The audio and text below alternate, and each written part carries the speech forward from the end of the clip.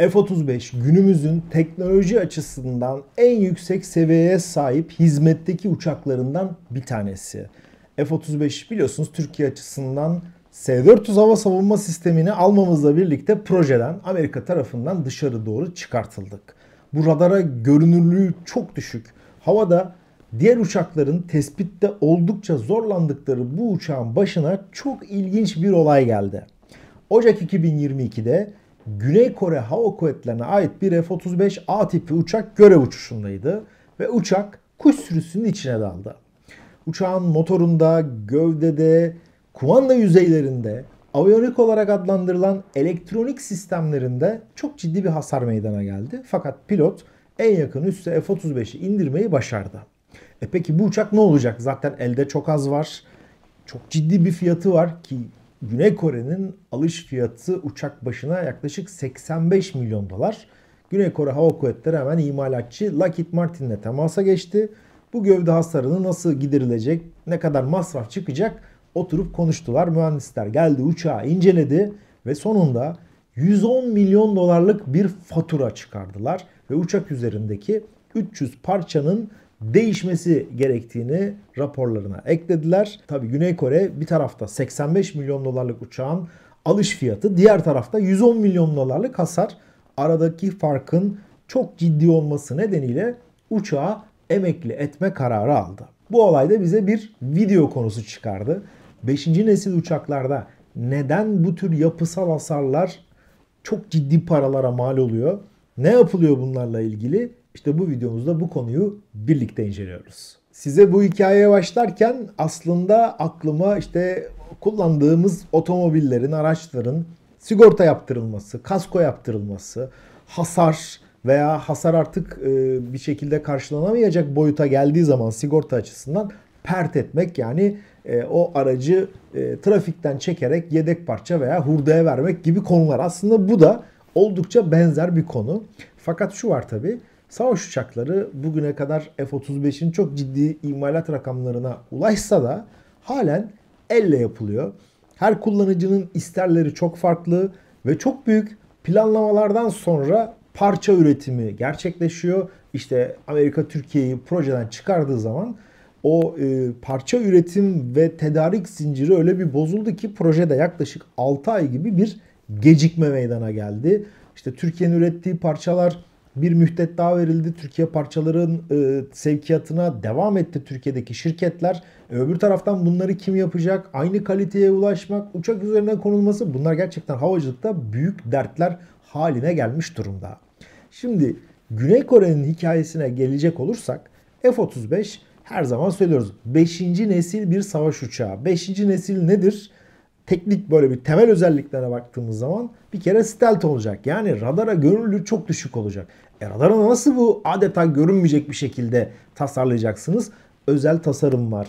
Radar dalgalarını yansıtmayacak bir yapı, kullanılacak malzeme, e, özel tasarım bunlarla ilgili elektronik olarak iz bırakmaması gerekiyor uçtuğu zaman. Aynı şekilde motor içinde e, geçerli bu motorun da gökyüzünde bir iz bırakmaması gerekiyor. Bunları bir araya getirdiğiniz zaman 5. nesil savaş uçağının bu stealth olarak adlandırılan radara gönüllünün çok düşük olma durumunu yakalıyorsunuz.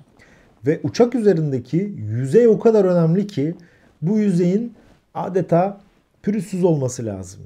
Uçak üzerinde kullanılan işte çeşitli perçinlerin hiçbir şekilde dışarı doğru böyle bir bombeli olmaması lazım.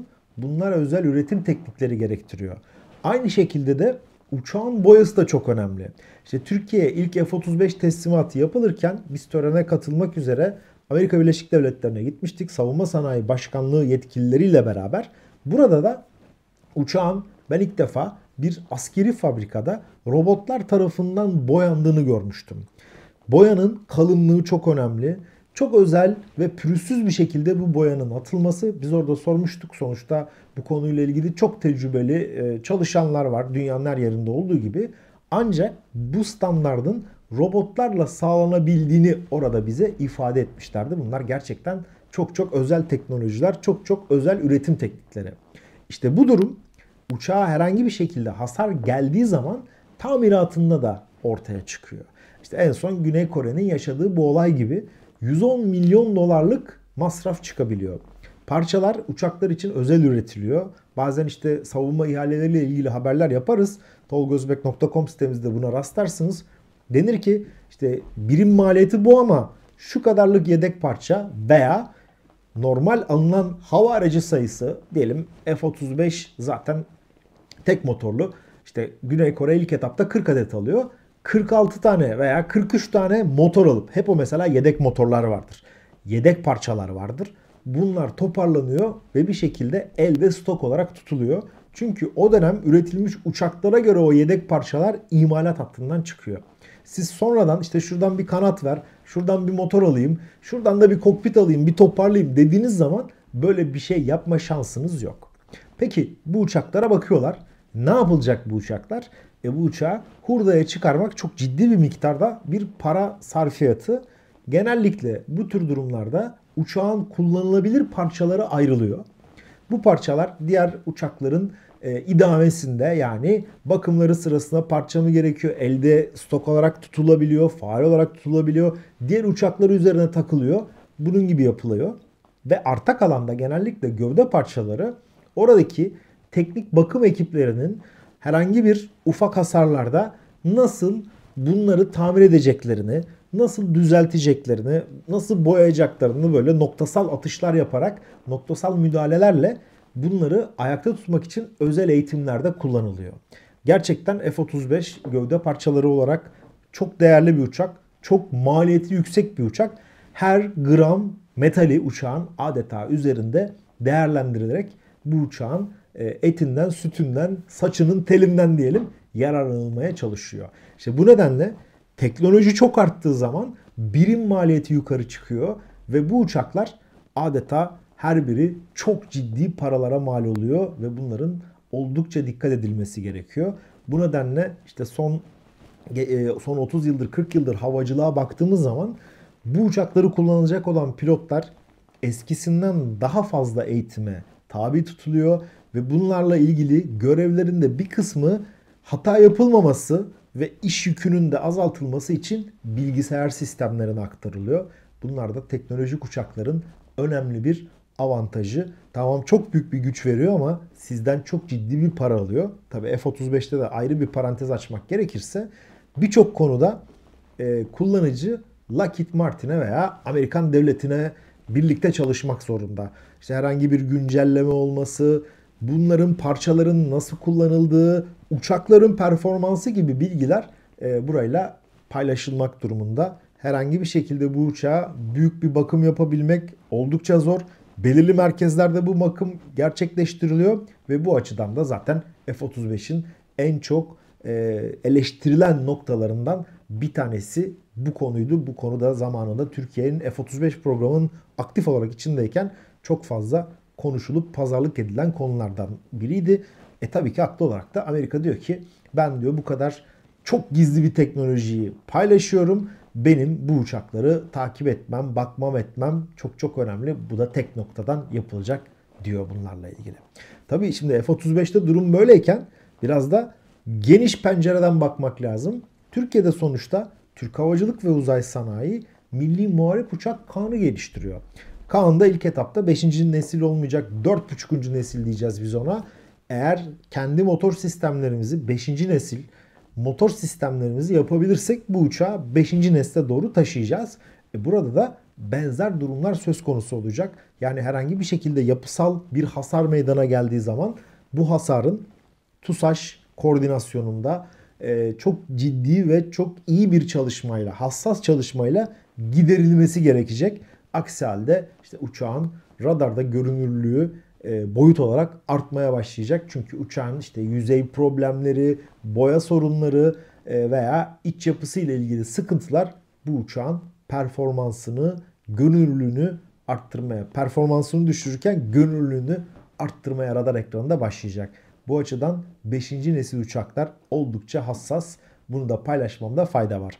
Tekrar Güney Kore'ye dönecek olursak halen Güney Kore Hava Kuvvetleri'nin elinde 40 adet F-35A var. Geçtiğimiz aylarda 25 adet daha sipariş verdiler.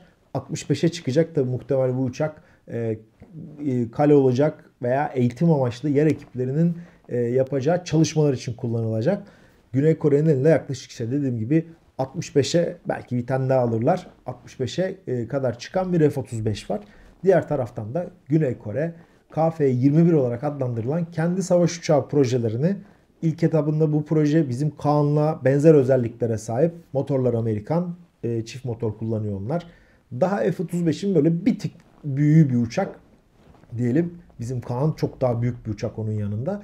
Onlar da bir taraftan kendi projelerini devam ettiriyorlar. Bu şekilde yürüyorlar. Bu açıdan da Güney Kore ile kendi uçak projelerimiz açısından da bir benzerlik, bir yakınlık olduğunu ifade etmemde fayda var. Hep bize soruluyor. Ee, bu arada bu videoyu da yapmışken belirtmek istiyorum. Niye Türkiye KF-21'e ortak olmadı? Bir kere konseptler farklı bunu bir belirteyim. İkincisi Türkiye bu projeye başlarken o zaman e, Kore'den KT-1 eğitim uçakları alınmıştı ve Türkiye ve Kore arasındaki e, ilişkiler gayet iyi. E, halen de bu savunma konusundaki işbirlikleri devam ediyor. Ancak Kore Türkiye'ye KF-21 için sadece parça üreticisi olarak destek e, verebileceğini ifade etmişti. Bu projenin tüm tasarım hakları Güney Kore'ye ait. Türkiye'nin amacı Kaan gibi bir uçak yaparak 5. nesil teknolojiler ve tasarımlar konusunda e, bilgiye sahip olabilmek. Bu gerçekleşmeyeceği için olayı sadece Türkiye'yi bir parça üreticisi olarak gördükleri için Türkiye KF21'e katılmama kararı almıştı. Bu da çok soruluyor. Ben her videoda bunu söylüyorum yaptığım konuyla ilgili videolarda burada da tekrar belirtmek istedim.